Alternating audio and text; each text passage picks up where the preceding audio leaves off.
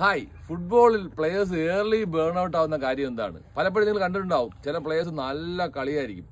പക്ഷേ അയാൾ ഒരു പതിനാറ് അല്ലെങ്കിൽ പതിനേഴാമത്തെ വയസ്സിൽ ബേൺ ഔട്ട് ആവുന്നു അയാൾ കളിക്കാൻ പറ്റുന്നില്ല ആ പ്ലെയർ അപ്രത്യക്ഷമാകുന്നു ഇതിനൊരു കാരണമുണ്ട്.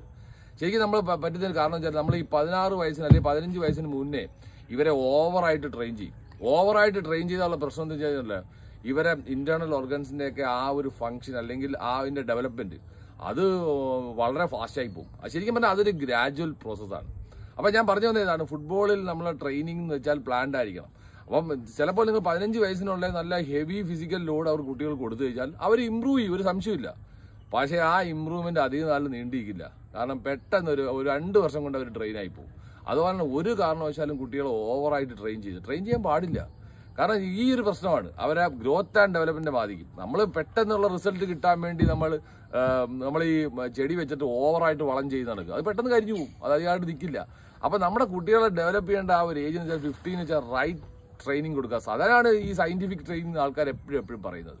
അങ്ങനെ അങ്ങനെ നമുക്ക് അധികം നാൾ നീണ്ടിരിക്കും. പക്ഷേ നിങ്ങളൊരു പ്രൊഡക്റ്റീവായിട്ട് അവരെ ഗ്രാജുവലി ഗ്രാജുവലി ബിൽഡ് ചെയ്ത് കൊണ്ടുവന്നേ. ഒരു ഏഴ് ടു പതിനാല് വയസ്സ് ടെക്നിക്ക് ടെക്നിക്കൽ സ്കിൽ കൊണ്ട് ബിൽഡ് ചെയ്ത് ബിൽഡ് ചെയ്ത് കൊണ്ടുവന്നേ. അവർ മികച്ച പ്ലേയേഴ്സായി മാറും. അവർ നമ്മളെ കളിക്കളത്തിൽ ഒരുപാട് നാൾ കാണും. അല്ലെങ്കിൽ നമ്മളെ കളിക്കാർ കളിക്കളത്തിൽ അധികം നാൾ നിൽക്കില്ല അവരെല്ലാം നമ്മളെ കളിക്കളത്തിൽ നിന്ന് വാനിഷായി പോകും. കാരണം ഇതാണ് ഇയർലി ഡെവലപ്മെന്റ് ആയി പോകും. അത് പാടില്ല. അപ്പോൾ ഫുട്ബോളിൽ എപ്പോഴും ഗ്രാജുവൽ ആയിരിക്കണം ഡെവലപ്മെന്റ് ഫുട്ബോളിൽ നിങ്ങൾക്ക് ഇനിയും വ്യത്യസ്തമായ വീഡിയോ ആയിട്ട് കാണാം. It's bye from Manish Sashi thank